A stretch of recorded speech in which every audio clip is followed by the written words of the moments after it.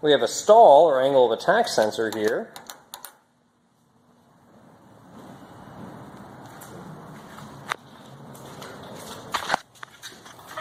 We have our aileron,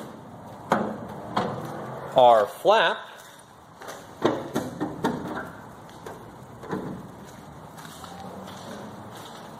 our stabilator,